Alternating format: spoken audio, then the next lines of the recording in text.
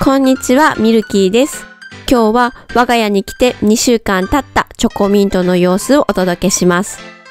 2匹のことをどんどんお話ししていくので、癒されたい方は映像と一緒に、お忙しい方はハムカツラジオとしてお楽しみください。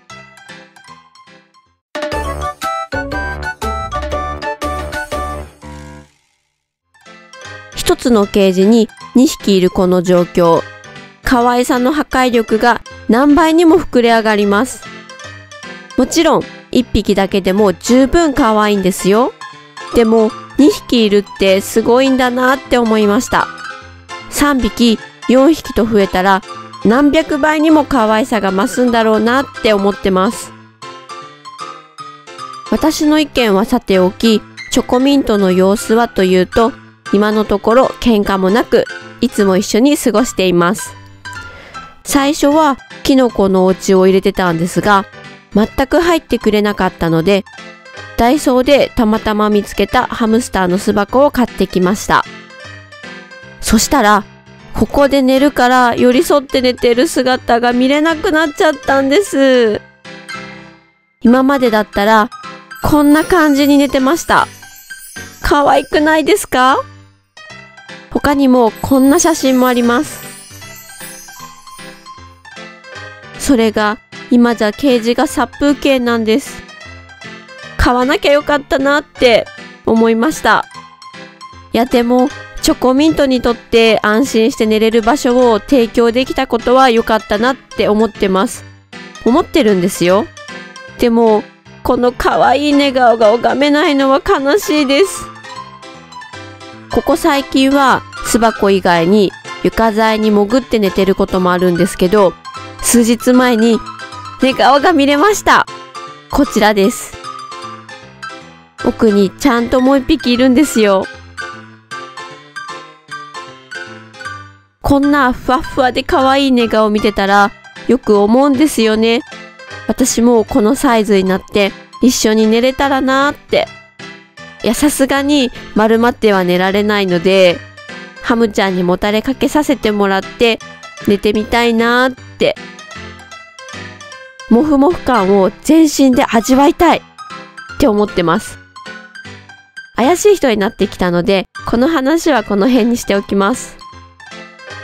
でももしこの気持ちがわかる方いたら、ぜひコメントしてください。チョコミントの性格ですが、チョコは人間に興味があるみたいで、結構寄ってきてくれるんです。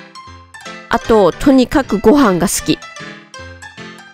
ご飯の時間になると必ずと言っていいほどすぐに出てきます。一方ミントはビビリさんでケージに近づくとすぐに逃げちゃうんですよね。逃げると言っても巣箱じゃなくてケージの中を走り回るんですよ。お世話するときにケージの中に手を入れると巣箱に入ってくれたらいいんですけどケージから出てきそうで危ないなって毎日ぐらい思ってます。で、多頭飼いをしているのでご飯がなくなると喧嘩の原因になるそうなんですよ。で、ご飯の時間より早くご飯がなくなると乾燥野菜を入れてごまかしてるんですけど乾燥野菜も入れすぎなんですかね。2匹ともおデブちゃんになりつつあります。特にミントがね、チョコと同じような体型になってきたなって思うんですよ。そしたら、見分けがすごくつきにくくなりました。ちなみに、見分けるポイントが2つあって、1つ目が顔の形です。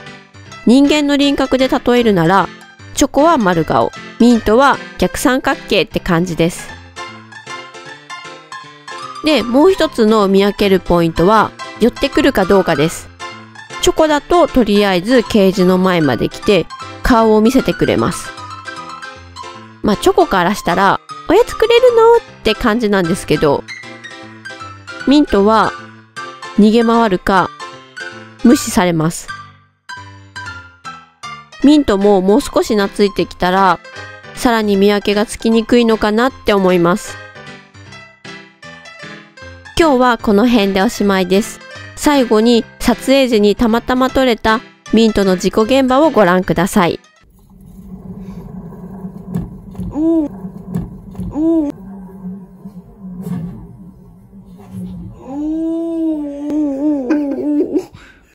はい。というわけで、ドラム式洗濯機になったミントでした。これからもこんな感じでチョコミントの成長記録をやっていきたいと思います。この動画がいいなと思った方はグッドボタン、チャンネル登録よろしくお願いします。ご視聴ありがとうございました。